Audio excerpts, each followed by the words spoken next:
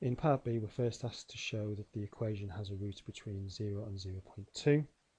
So if we take our x values of 0 and 0.2 and substitute them into our f of x, which is 9x cubed minus 9x plus 1, we find that uh, substituting 0 in, we get 1, and substituting in minus, uh, 0.2, we get minus 0.728. Change in sign, therefore, implies a root.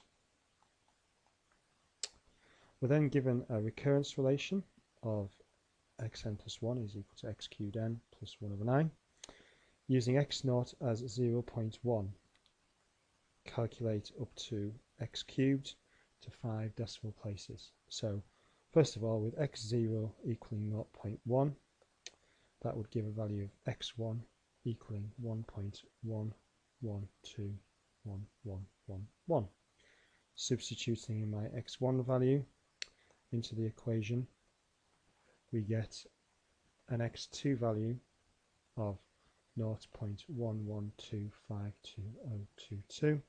Substituting the x2 value into our recurrence relation, 0.11252022, we get our x3 value which is equal to 0 0.1125357.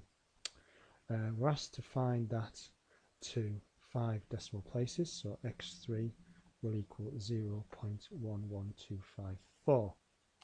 We also have to prove that this is the value of alpha correct to five decimal places, so we'd then take the upper and lower bound of those numbers. In this case, the upper bound will be 0.112545 lower will be 0.112535. We then substitute those values in as x values into our original function f of x, which was uh, the 9x cubed minus 9x plus 1. Putting in the upper bound, we get minus 0.00008.